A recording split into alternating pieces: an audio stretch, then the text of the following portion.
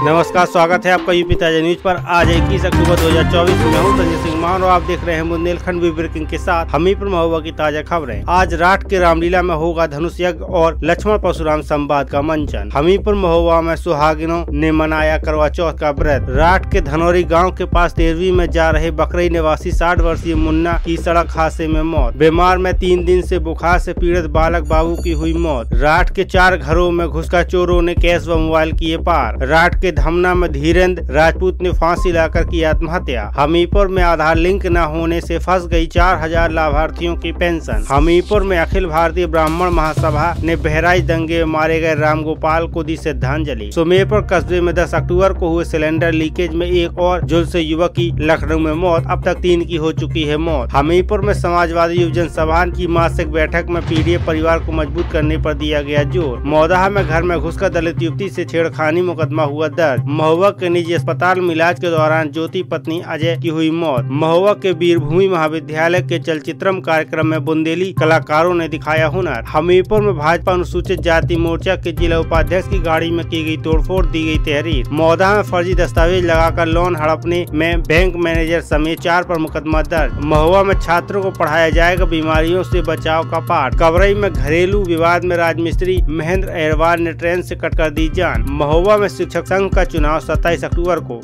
श्री टंडन में प्रवेश की अंतिम तिथि बाईस अक्टूबर आपका खबरों को देखने के लिए बहुत बहुत धन्यवाद आप अन्य खबरों के लिए हमारे चैनल को लाइक शेयर सब्सक्राइब करें